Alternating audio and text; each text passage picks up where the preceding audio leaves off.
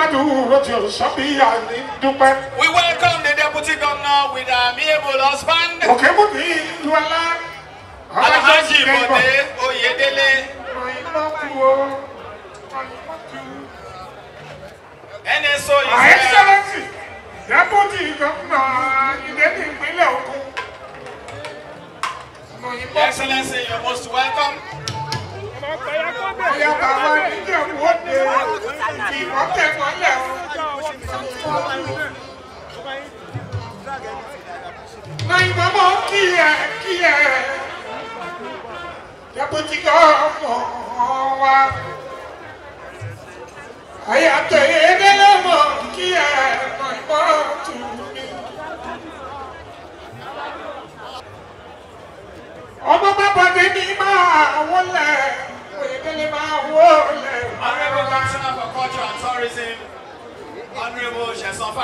you are most welcome. We welcome you.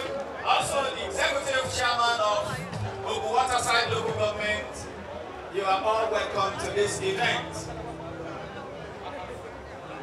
Please, paparazzi, let us please clear as we take the national anthem.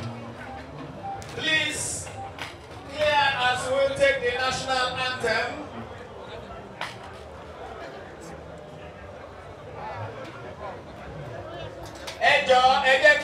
Ká kọ orin ògo orílẹ̀-èdè nàìjíríà gbogbo àwọn a dé àwọn bàbá bàbá àwọn kábíyèsí lójú ẹ jẹ́ kí á kúrò níwájú àwọn kábíyèsí dj the national anthem please.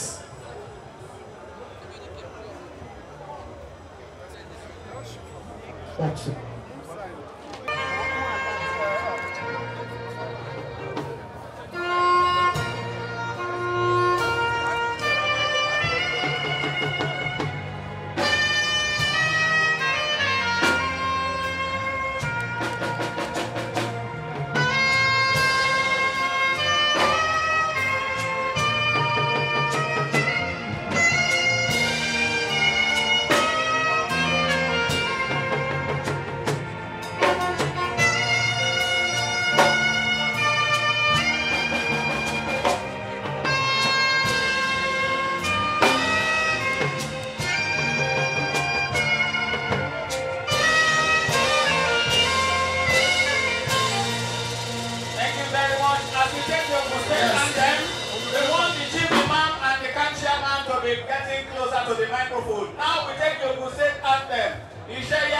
oògùn iṣẹ́